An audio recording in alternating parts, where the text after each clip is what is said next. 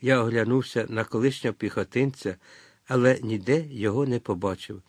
Про те, що тут були і що бачили, нікому.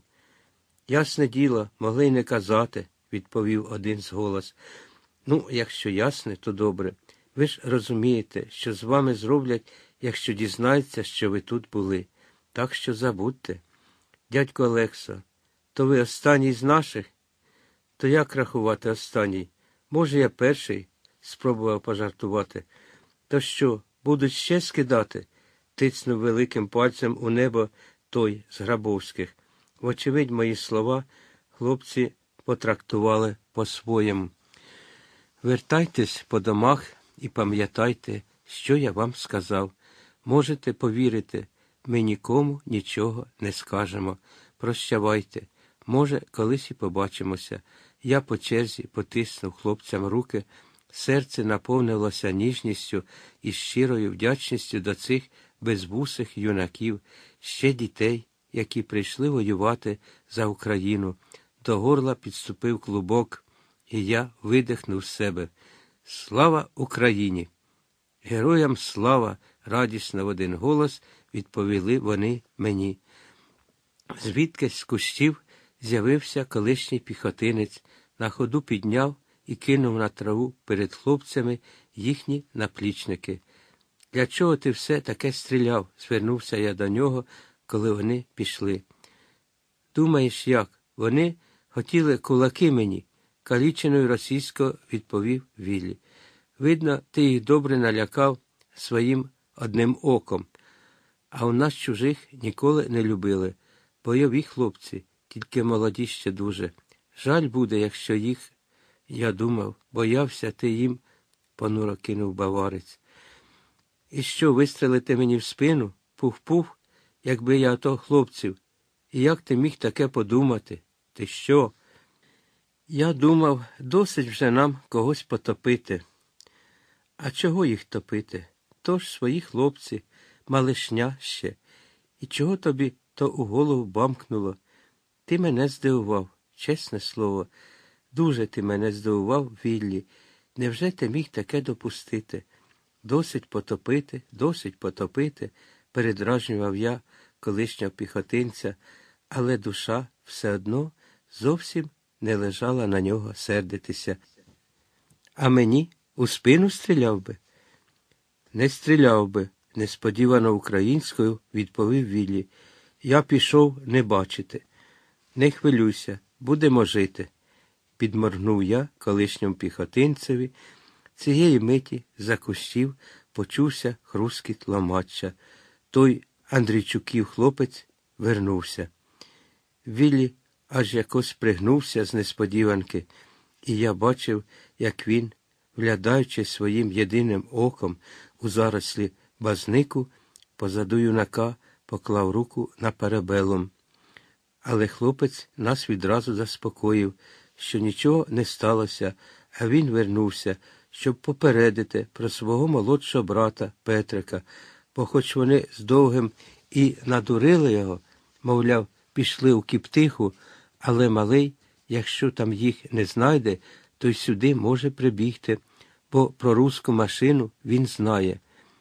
Звичайно, то була неприємна новина.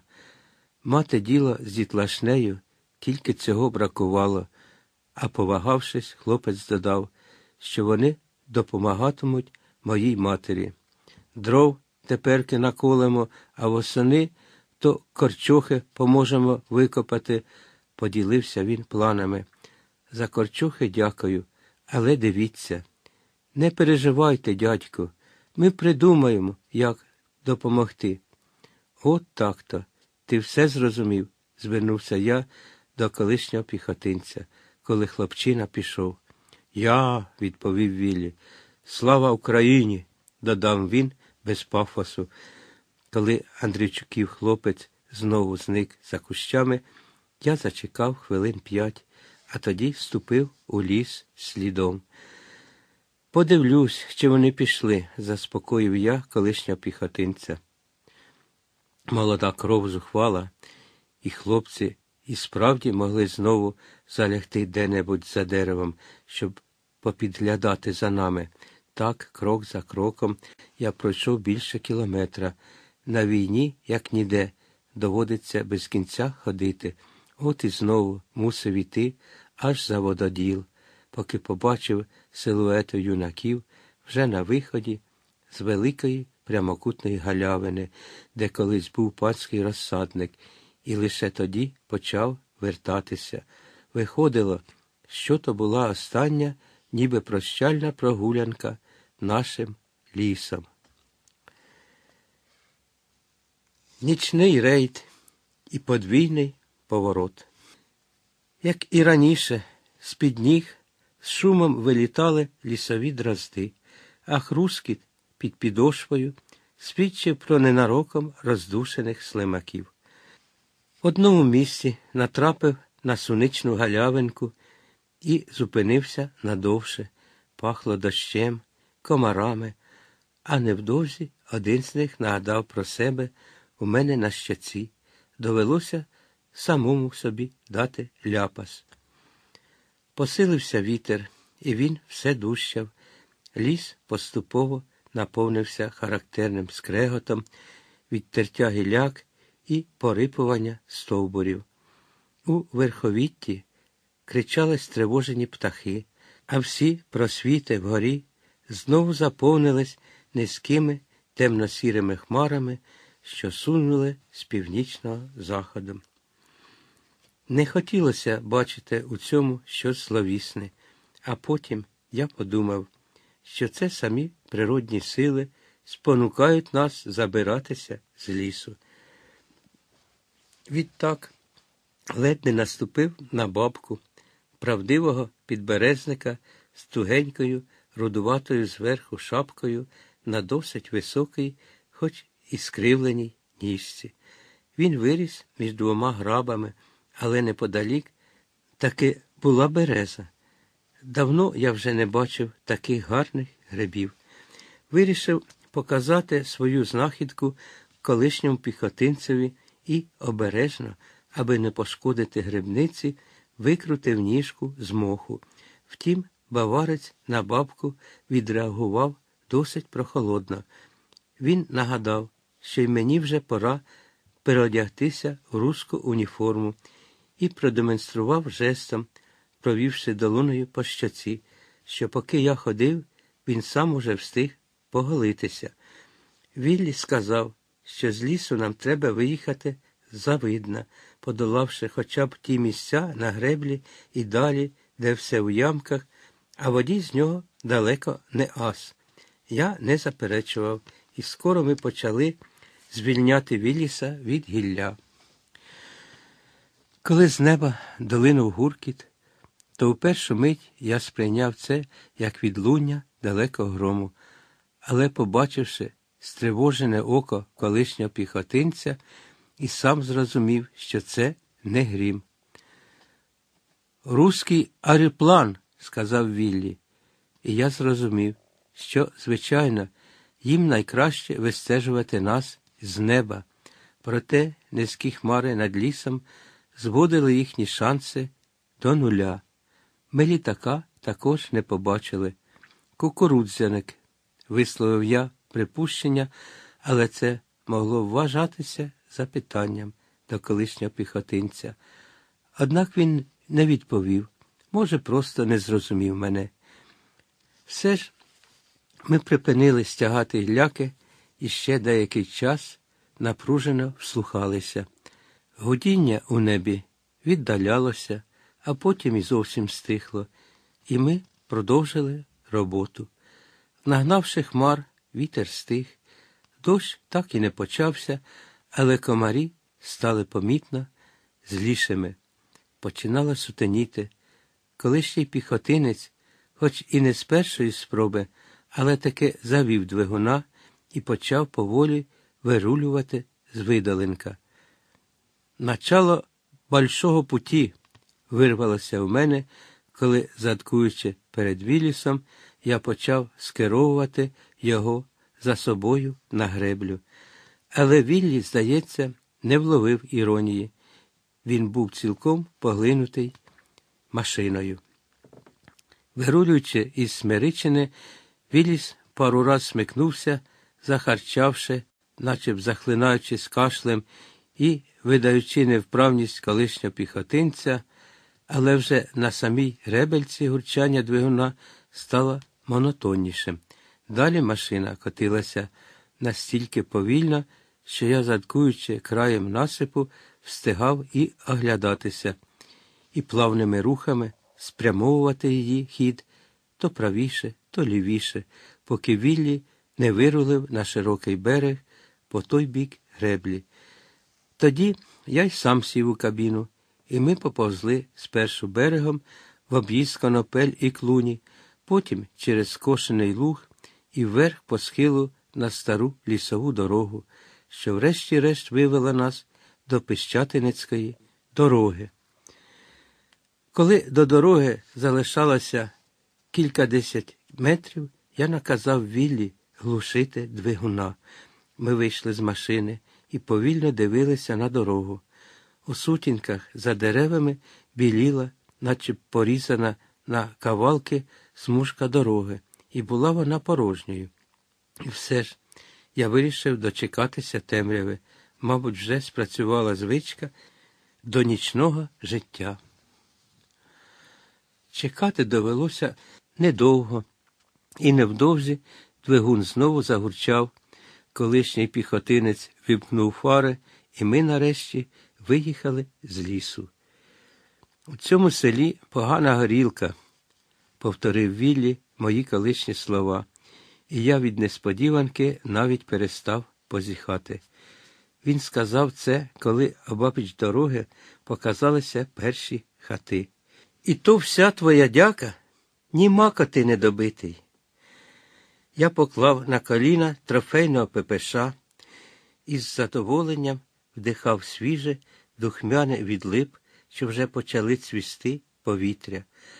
А вже як поминули перші хати, то у нашій вулиці, крайній від лісу, вилетіли з темрява на світлофар один за одним бамцнулися у лобове скло два великі жуки рогалі. У вулиці Віллі трохи пригальмував, а коли вже котилися повз нашу хату, то там світилося тільки в одному вікні, тому що за ванькіра. Тугою стиснуло серце, і все ж я стримався від першого пориву зупинити Вілліса і вискочити, востаннє обняти матір, лише встиг нишком перехрестити ту освітлену цятку, поки проїхали. Вздовж вулиці час від часу до тинів тулилися люди, а дорогу під самими колесами перебігали коти і собаки. За старим цвинтарем я буркнув до колишнього піхотинця, аби він дав газу. Давай, руські шмалять, не дивляться, наказав я йому. Він трохи притис, але не дуже. Заважали ями і вибоїни, які Віллі, втім, вправно обрулював. Далі ми їхали мовчки, тільки на роздоріжжях я відривав від автомата руку і показував баварцеві напрямок вправо чи вліво. І лише за ланівцями, коли вже пішла пряма на збарж, можна було нарешті трохи розслабитися. Після лісу, цієї тієї біганини, тепер у кабіні, під рівномірне гуркотіння американського двигуна, коли назустріч неслася світлена фарами нічна дорога, принаймні у мене деякий час справді було відчуття переможця. Правда, враження від усього цього дещо псував колишній піхотинець. Зовмамал ферштейсду, сноски, побачимо, розумієш? буркнув він і раз по раз витирав казівним пальцем око, наче воно в нього справді свербіло чи сльозилося, і виходило у ці моменти, вів машину навпомацьки. Деякий час я терпів це, а потім штрикнув його ліктем під бік і сказав, аби не корчив себе аса. А коли він запитав, чого я хочу, то додав вже більш примирливим тоном що Віллі їде на Віллісі не так вже й погано. Звучить. Віллі Вільгельм то є друге ім'я, відповів він. Друге ім'я? не зрозумів я. У мене є ще один ім'я Йозеф. Йосип? Йозеф, повторив він, не відриваючи свого єдиного ока від дороги. Мій перший ім'я то Йозеф. У нас в Баварії католицькі традиції. Імена святих дуже поважають, калічив далі своєю російською колишній піхотинець, начебто випльовуючи слова. Я, напевне, так ніколи не навчуся. А чому ж ти тоді назвався Віллі? Мені так більше, просто. Другий мій ім'я Вільгельм. То мій матка придумати. Вона із Саксонії. Напевне, померла вже. Під першим крутим підйомом за ланівцями перекрикував гудіння двигуна Віллі. Назустріч нам поки що трапилася лише єдина полуторка, що, видно, верталася з області у Ланівці в район. А кайзера вашого останнього як звали? Спробував я пригадати історію. Вільгельм? Точно ж, Вільгельм, сам собі відповів, оскільки Віллі ніяк не відреагував на моє запитання. А Йосип то не ваш, то був австрійський, правда? Але колишній піхотинець продовжував мовчати. Звичайно, я й сам розумів безглуздість своїх запитань на цій нічній дорозі, у трофейному вілісі, що, підстрибуючи на вибоїнах, мчав нас назустріч невідомості. А совіти за стільки років вже могли б дорогу і підсипати. Ще пам'ятаю, думками пробував відганяти сон, але очі вперто злипалися. Я притис до живота Пепеша і сказав Віллі, що у збаражі відразу при в'їзді треба повертати направо. Я це точно знав. У збаражі та його околицях мені доводилося допкати болото ще під час війни. Правда, тоді ми, як туди, так і назад, верталися здебільшого польовими дорогами. Але я пам'ятав, що прямий шлях з Крем'янця на Тернопіль і далі вглиб Галичини до Карпат пролягає, якщо брати так, як ми їдемо, то справа від Збаража.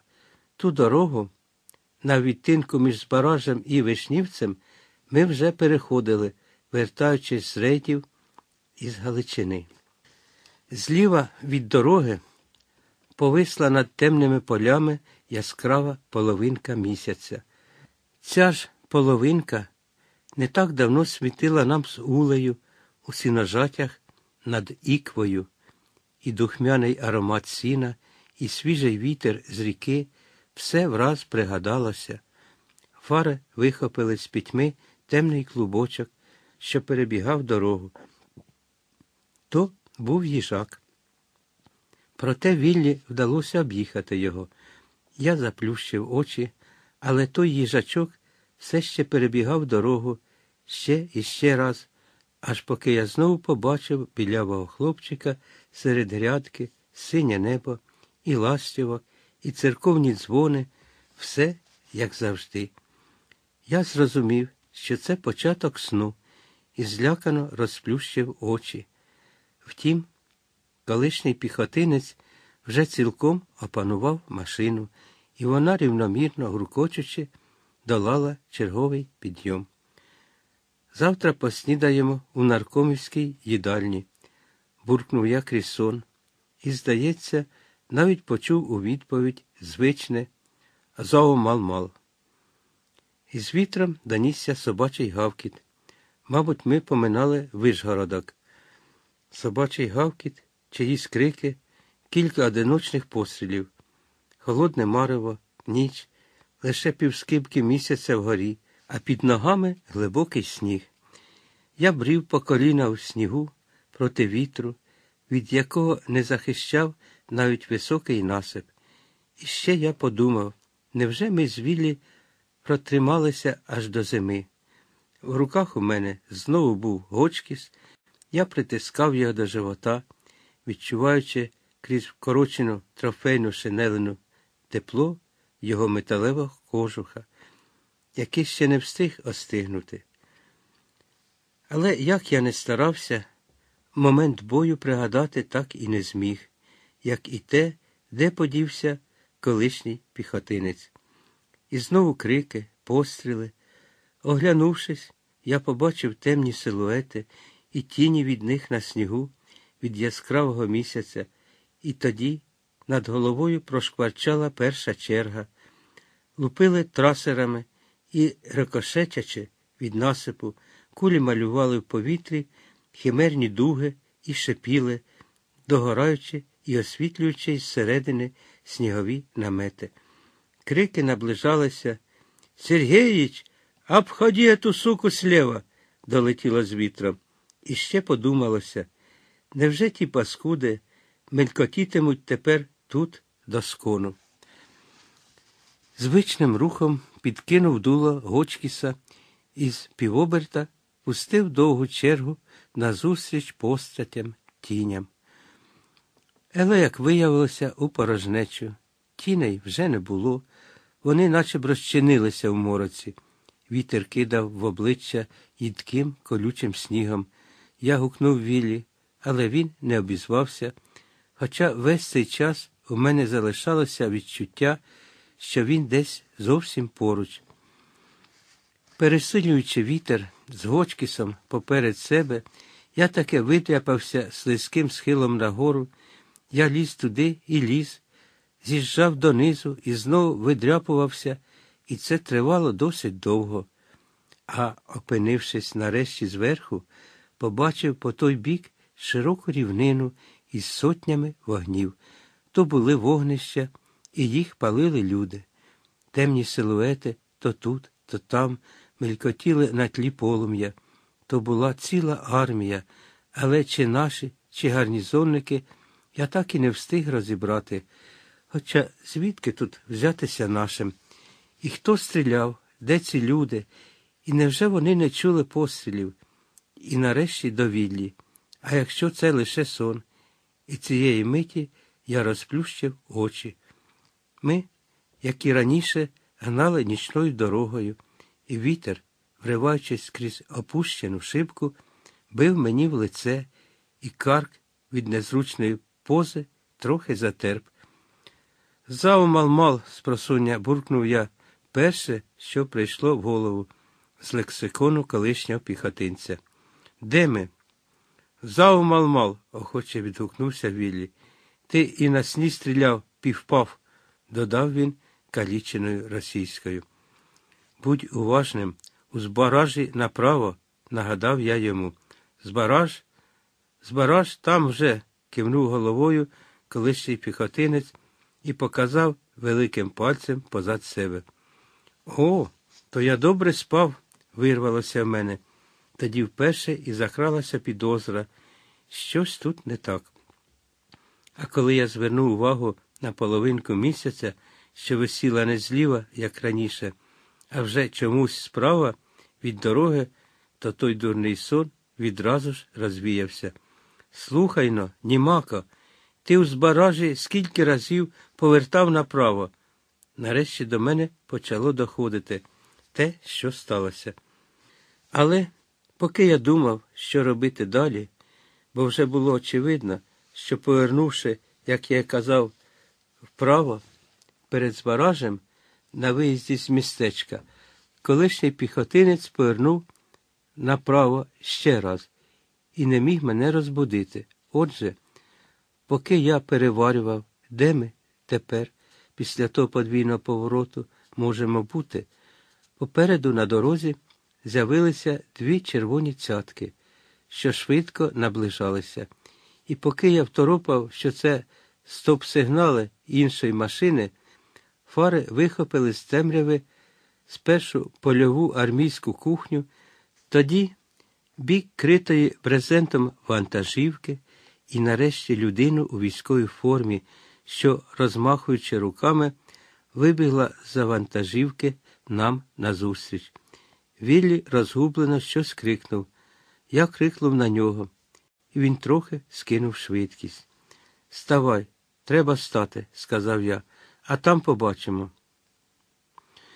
Товариш, кинувся доганяти нашого Вілліса, що, загальмувавши, прокотився повз нього ще зовсім молоденький лейтенантик.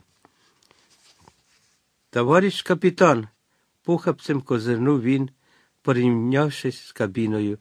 Я навіть не відразу зрозумів, що він звертається до мене, а коли скоса, зиркнувши на свій правий погон, враз дійшло, то тієї ж миті вийшло якось і без паузи, і зовсім несподівано для самого себе.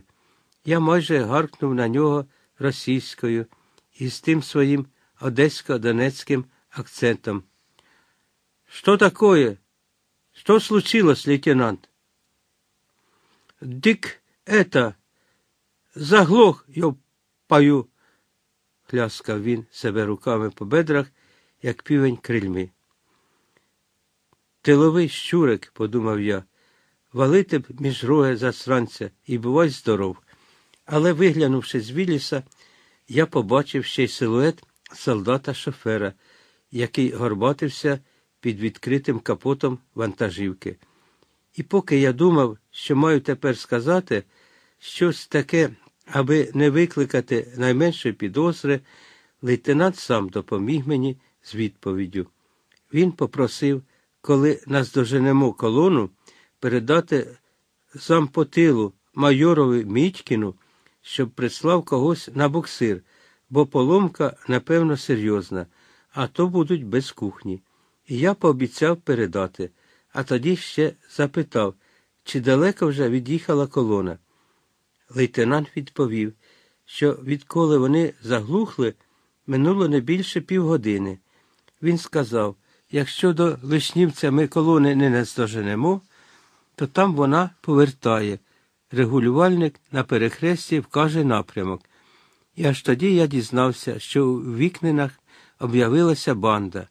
Правда, вікнини лейтенант назвав окнінами, але я здогадався, а потім, зам'явшись, він поцікавився, звідки ми, з якої частини. Весь цей час я найбільше остерігався, аби лейтенантові не збрело обходити нашого Віліса з другого боку, чи щоб колишній піхотинець бодай випадково не повернувся до нього лицем, і той не зауважив його одноокість, яку у цій ситуації я навряд чи зміг би якось пояснити. Але Віллі, вочевидь, і сам пам'ятав про це. Треба було хоч бинтом перемотати, якого в аптеці достатньо. Далі так і зробимо. Я відповів лейтенантові, що ми із штабу округу, і наказав Віллі їхати. А, багатозначно протягнув той тиловик. І так, з відкритим ротом, ми і залишили його край шосе. Колону ми побачили вже перед самим Вишнівцем, бо ж після зустрічі і розмови з лейтенантом повертати назад вже не було як. А коли ми від'їхали кілометрів п'ять і стали, і я бинтом перемотував колишньому піхотинцеві лоба навскоси разом з бровою, щоб таки приховати відсутність ока, а рану у війську пояснити завжди простіше, то подумав, що ті з колони, як ми їх наздоженемо, все одно будуть бачити лише світло наших фар і не більше. Я вирішив ризикнути і, коли знову рушили, наказав Віллі дати газу.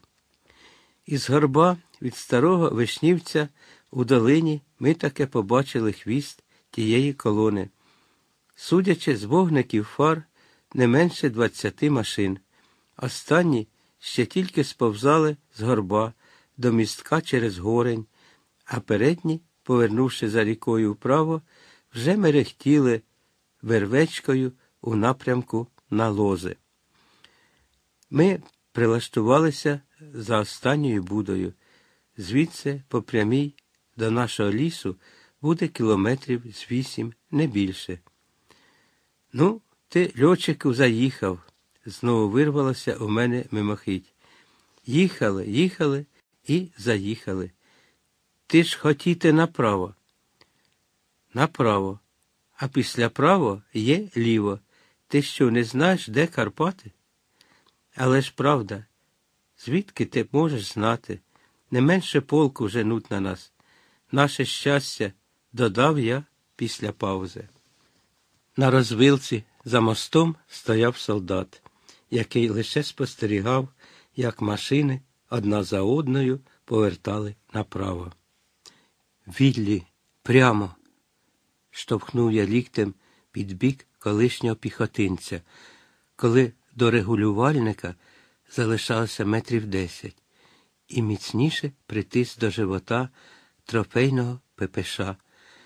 І коли ми зрозуміли, що нам це таке вдалося, і вже коли проїхали перше за Вишнівцем село і в'їхали у наступне, то вже мала бути горенка, і ніхто за нами не гнався, я нарешті зняв з коліна автомата і пхнув на задню сідушку.